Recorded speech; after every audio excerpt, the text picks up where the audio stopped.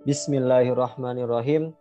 Hasbiyallahu la ilaha illa huwa alaihi tawakkaltu wa huwa rabbul arsyil azim. La haula wa la quwwata illa billahil aliyil azim. Assalamualaikum warahmatullahi wabarakatuh. Selamat pagi teman-teman semua. Selamat pagi juga Ibu Dian. Semoga kita semua selalu diberikan kesehatan oleh Allah Subhanahu wa taala. Izinkanlah saya untuk mempresentasikan dan juga untuk memaparkan uh, satu materi yang dari saya ambil dari buku 1001 Invention Muslim Heritage in Our World uh, yang berjudul Stars atau Bintang. Sebelum kita masuk ke dalam materi selanjutnya, saya akan membawakan dua dalil di dalam Al-Quran yaitu pertama ada surat Al-Hijr ayat 16 ayat 16 dan juga ada Quran surat Al-Furqan ayat 61. A'udzu. Bismillahirrahmanirrahim. Walaqad ja'alna fis sama'i buruja wa zayyannaha lin-nadhirin. Yang artinya dan sesungguhnya kami telah menciptakan gugusan bintang-bintang dan kami telah menghiasi langit itu bagi orang-orang yang memandangnya. Quran surat Al-Hijr ayat 16. Selanjutnya yang kedua ada surah Al-Furqan. A'udzu billahi minasyaitonir rajim. Tabarakalladzi ja'ala fis sama'i burujan wa ja'ala fiha sirajan wa qamaran munira. Yang artinya Maha suci Allah yang menjadikan di langit gugusan-gugusan bintang dan Dia menjadikan juga padanya matahari dan bulan yang bercahaya. Quran surat Al-Furqan ayat 61. Pada kedua ayat di sini eh, Allah menjelaskan bahwa penciptaan alam semesta ini Allah menciptakan dengan sebaik mungkin dan juga dengan tujuan tentunya banyak sekali tujuan-tujuan uh, Allah dan juga manfaat dalam menciptakan bintang ini salah satunya seperti uh, memberikan untuk menghiasi uh, langit di malam hari gitu. Kemudian selanjutnya ada latar belakang atas dasar rasa syukur kita kepada Allah Subhanahu wa taala dan juga karena maha besar Allah Subhanahu wa taala atas segala ciptaannya, kesempurnaan tiada tara dalam terbentuknya alam semesta, bumi, bulan, matahari bahkan bintang yang bersinar indah gemerlap setiap saat yang patut kita syukuri. Kita sebagai manusia dan juga makhluk spesial yang berbeda dengan makhluk-makhluk lainnya, kita diciptakan oleh Allah dengan memiliki dan diberikan akal, sehingga kita memiliki suatu pemikiran di mana pemikiran tersebut uh, dengan tujuan untuk mendekatkan diri kita dan juga meningkatkan ketaatan kita kepada Allah Subhanahu wa taala. Maka dari itu atas dasar perkembangan ilmu pengetahuan serta rasa dasar syukur kita kepada Allah uh, membuat lahirnya para astronom muslim yang terpesona dengan langit malam dan akhirnya melakukan observasi terhadap gugusan bintang-bintang dan konstelasi alam semesta. Selanjutnya ada pengertian bintang. Di sini saya akan membawakan dua pengertian bintang. Pertama menurut uh, pengertian bintang secara umum dan juga pengertian bintang dalam sudut pandang Islam. Pertama saya akan memberikan pengertian bintang secara umum yaitu bintang adalah benda langit yang mampu memancarkan cahaya dan memproduksi energi sendiri. Ini sumbernya itu dari KBBI. Selanjutnya ada bintang adalah benda langit besar yang menghasilkan cahaya dan panas dari reaksi fusi nuklir. Komponen utamanya yaitu hidrogen yang berubah menjadi helium. Sumbernya itu dari natrium. Jadi uh, intinya adalah bintang merupakan benda langit yang memiliki sinar cahaya sendiri dan terjadi atas dasar kuasa Allah atas kuasa Allah Subhanahu wa taala serta proses pembentukan bintang seperti tadi adanya reaksi fusi nuklir dan juga uh, terbentuk karena adanya komponen utama itu seperti hidrogen dan juga yang menjadi uh, berubah menjadi helium. Selanjutnya ada pengertian bintang dalam sudut pandang Islam. Uh, dalam Islam sendiri bintang dibagi menjadi dua, yaitu ada bintang tunggal atau najam, kemudian ada bintang kelompok bintang atau buruj. Untuk bintang tunggal sendiri terdapat dalam surat An-Najm ayat 49 A'udzu billahi minasyaitonir rajim wa annahu huwa rabbu yang artinya dan sesungguhnya dialah Tuhan yang memiliki bintang syiro. Jadi uh, oh ya Quran surat An-Najm ayat 53. Jadi dalam surat ini menjadi satu-satunya bintang yang disebutkan dalam Al-Qur'an yaitu bintang syiro atau bintang Sirius.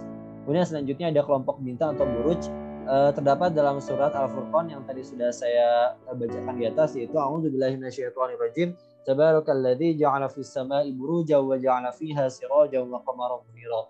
Yang artinya Maha Suci Allah yang menjadikan di langit gugusan-gugusan bintang dan dia menjadikan juga padanya matahari dan bulan yang bercahaya. Quran surah Al-Furqan ayat 61. Jadi dalam Islam sendiri bintang dibagi menjadi dua yaitu ada bintang tunggal dan juga kelompok bintang. Untuk bintang tunggal sendiri eh, sebagai contoh kayak misalnya ada suatu eh, kalimat dan demi bintang di malam hari yaitu bintang tunggal. Sedangkan kalau untuk kelompok bintang kayak misalnya dan demi gugusan-gugusan bintang di malam hari. Jadi uh, perbedaannya adalah kalau bintang tunggal hanya menyebut, uh, menyebutkan satu spesifik bintang, sedangkan kelompok-kelompok bintang itu uh, istilahnya seperti rasi bintang karena banyak.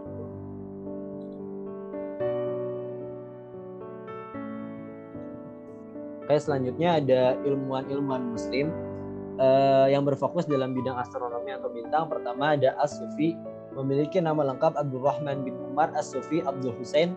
Uh, beliau lahir di Ray, Persia pada tanggal 14 Muharram 291 Hijriah atau 5 Desember 903 Masehi. Beliau hidup di zaman di bawah pemerintahan Adun Daula, bahkan beliau tinggal di istana raja yang bertempat di Isfahan, Persia. Pada masanya beliau dikenal sebagai seorang astronom cemerlang dan merupakan salah satu cendekiawan kebanggaan sang maharaja di antara tiga bintang. Kemudian pekerjaan beliau adalah penerjemah dan memperluas karya-karya astronomi Yunani, terutama Al-Madiyah, serta melakukan koreksi terhadap dasar bintang Ptolemy. Bahkan beliau mendapati posisi sebagai penerjemah utama astronomi Hellenistik yang telah berpusat di Alexandria ke dalam bahasa Arab. Hal terbesar yang beliau lakukan adalah menghubungkan nama-nama bintang menurut penelitian Yunani dan bangsa Arab serta rasi bintangnya. Uh, beliau wafat atau Abdurrahman bin Umar As-Sufi Abdul Hussein wafat pada tanggal 13 Muharram 376 Hijriah atau 25 Mei 986 Masehi di Surat Iran. Sebagai astronom Persia yang hidup pada abad ke-10, beliau menciptakan karya-karya dan penemuan ada beberapa penemuan terkenal di antaranya yaitu kitab dengan judul Al-Kawakib Astabid Al-Musawwar yaitu sebuah katalog bintang yang dibuat berdasarkan pengamatannya sendiri.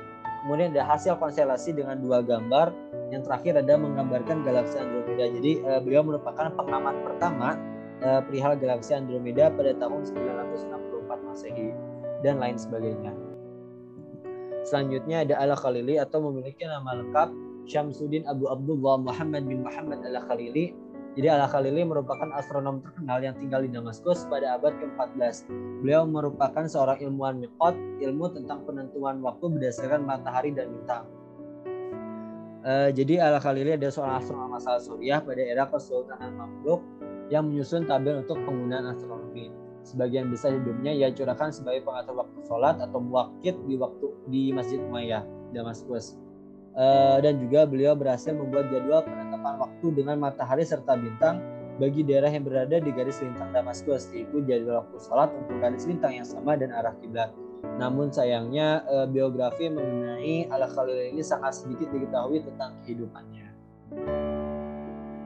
Selanjutnya ada peta surga atau suatu bangunan yang memiliki ciri khas dan juga eh, bangunan-bangunan uh, yang sangat berhubungan dengan astronomi atau bintang. Pertama ada Kuba Rumah Pemandian terletak di Kusai Amro, sebuah istana di Yordania yang dibangun pada abad ke-8 yang memiliki peta langit berbentuk setengah bola yang unik. Jadi Kusairi Amro ini terletak 85 km ke arah timur Amman, ditemukan oleh wisatawan Ceko yang bernama Alois Musir pada tahun 1898. Tempat ini berdiri sejak dari masa Umayyah dan selama bertahun-tahun diperkirakan telah dibangun pada masa pemerintahan Khalifah Walid I tahun 705 sampai 715 Masehi. Kusairi Amro ini ditempatkan pada daftar warisan dunia pada tahun 1985 karena siklus lukisan murah unik yang luas pada interior bangunannya. Kemudian selanjutnya ada fragmen fresco yaitu suatu bangunan yang masih ada hingga kini eh, dan dalam bangunan tersebut menunjukkan bagian dari 30, 37 rasi bintang dan 400 bintang. Jadi untuk uh, fragmen fresco ini saya pernah baca bahwa bangunan ini saat ini menjadi suatu jadi satu gereja katedral ortodoks dan uh, untuk daerahnya sendiri bertempat di Georgia. Selanjutnya ada fungsi bintang dalam perspektif Islam. Adapun fungsi bintang menurut Islam sendiri terdapat dalam Al-Quran surat Al-Mulk ayat 5. A'udzu billahi minasyaitonir rajim. Walaqad zayyana as-samaa'a ad-dunya bimasabiha wa ja'alnaha rujuman lisyayatin wa a'tadna lahum 'adzabas sa'ir. Yang artinya Walaqad zayyana sama ad-dunya bimasabiha. Sesungguhnya kami telah menghiasi langit-langit uh, wa ja'alnaha rujuman lisyayatin langit-langit dengan bintang-bintang dan kami jadikan bintang-bintang itu alat-alat pelempar syaitan. Wa atadna lahum uh, dan kami sediakan bagi mereka siksa neraka ada basair, neraka yang menyala-nyala. Dalam surat tersebut menjelaskan fungsi bintang uh, menjadi tiga yaitu pertama sebagai pelempar setan-setan yang akan mencuri berita di langit. Kemudian ada sebagai penunjuk arah e, rasi bintang. Seperti biasanya kalau untuk penunjuk arah ini digunakan oleh para nelayan ketika sedang e, melaut dan yang terakhir adalah sebagai penerang dan juga penghias langit khusus pada malam hari. Selanjutnya ada keyakinan terhadap zodiak dan ramalan bintang. Mungkin teman-teman udah nggak asing lagi mengenai zodiak ini kayak adanya Aries, Gemini, Scorpio dan lain-lain. Namun dalam Islam sendiri e, mengenai zodiak ini dilarang dan tidak. Terdapat tiga macam keyakinan dan ketiga termasuk haram yaitu yang pertama keyakinan bahwa posisi benda langit yang menciptakan segala yang ada di alam semesta dan segala pergerakannya. Kepercayaan kepada zodiak bilang dalam Islam dan termasuk haram. Karena itu, seseorang yang membaca dan mempercayai zodiak dianggap mendatangi dukun sehingga sholatnya tidak diterima selama 40 hari. Hal ini didasarkan atas dasar atas hadis yaitu barang siapa yang datang ke tukang ramal lalu mempercayai apa yang dikatakan maka sholatnya tidak diterima selama 40 hari. Hadis riwayat Muslim, Abu Daud, Ahmad, At-Tirmidzi dan Ibnu Majah. Kemudian selanjutnya yang kedua adalah keyakinan bahwa posisi benda langit yang ada hanyalah karena satu suatu sebab. Keyakinan semacam ini adalah keliru dan masuk ke dalam syirik asgor. Jadi untuk yang kedua ini, eh, ketika kita hanya meyakini bahwa penciptaan alam semesta ini karena hanyalah satu faktor eh, unsur-unsur kimia ataupun karena suatu eh, ledakan-ledakan yang diteliti oleh para ilmuwan-ilmuwan tanpa meyakini bahwa penciptaan alam semesta ini karena kehendak dari Allah itu sendiri. Maka ini termasuk ke dalam syirik asgor. Kemudian yang terakhir ketiga, posisi benda langit sebagai petunjuk untuk peristiwa masa yang akan datang dan semacam ini sama saja meyakini keberadaan ilmu gaib. Nah biasanya yang ketiga ini uh, posisi benda langit sebagai petunjuk ini kita minta tolong ke jin atau kesehatan untuk melihat uh, apa yang akan datang atau melihat uh, keberuntungan kita gitu.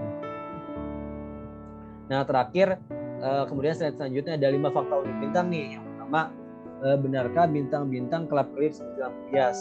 Nah jawabannya adalah kurang tepat atau salah. Jadi bintang itu tidak uh, kelap-kelip, tapi karena bintang tersebut melewati lapisan-lapisan atmosfer bumi dan terbiasakan oleh atmosfer karena adanya perbedaan suhu dan juga kepadatan atmosfer bumi.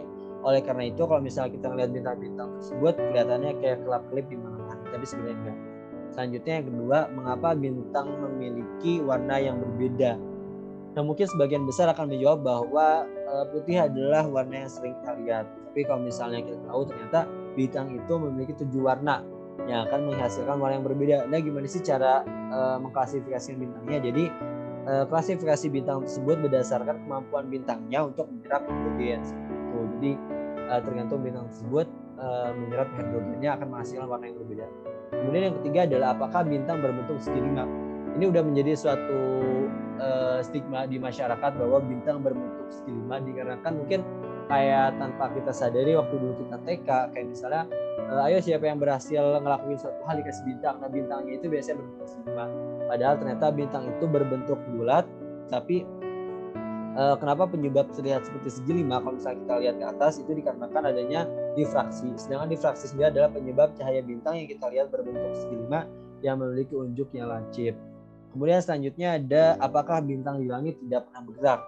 Jawabannya bintang di langit selalu bergerak nih setiap saat akan tetapi karena gerakan yang sangat lambat tersebut tidak terdeteksi oleh mata manusia nih karena jarak bintang yang jauh dan juga eh, apa capaian apa jangkauan mata kita yang kurang itulah penyebab seakan-akan bintang terlihat tidak pernah bergerak di langit. Kemudian yang terakhir ada kenapa ada rasi bintang? Jadi jawabannya adalah di zaman dahulu uh, sebelum ada teknologi teropong dan jam penanda waktu dan musim, nenek moyang kita mengamati langit dan melihat pola bintang dengan mata telanjang. Untuk mempermudah mereka mengenali bintang-bintang di langit yang kelihatan tidak pernah bergerak, mereka menciptakan pola bintang-bintang yang saat ini disebut dengan rasi bintang seperti adanya Libra, Taurus, dan juga Pisces. Semoga uh, mengenai lima fakta unik bintang ini bisa menjadi insight-insight baru bagi teman-teman semua dan juga untuk diri saya sendiri uh, dan juga uh, harapan saya apa yang sudah saya sampaikan ini bisa menjadi suatu amalan bagi saya dan juga bagi kita semua. Di sini ada sumber referensi. Yang pertama tentunya di Al-Quran dan Hadis dan juga dari seribu, eh, dari buku 1001 Invention Muslim Heritage in Our World. Terakhir ada uh, satu kata-kata kalimat bersama bintang, bersama bulan, bersama langit malam. Cukup dengan melihat alam, kamu merasakan kedamaian. Ermashkur. Oke, mungkin cukup sekian dari uh, pemaparan mengenai materi ini. Mohon maaf bila ada salah kata, mohon maaf bila penyampaiannya kurang jelas. Uh, salahnya dari saya dan benarnya hanya dari Allah Subhanahu wa taala. Wabillahi taufik wal hidayah. Wassalamualaikum warahmatullahi wabarakatuh.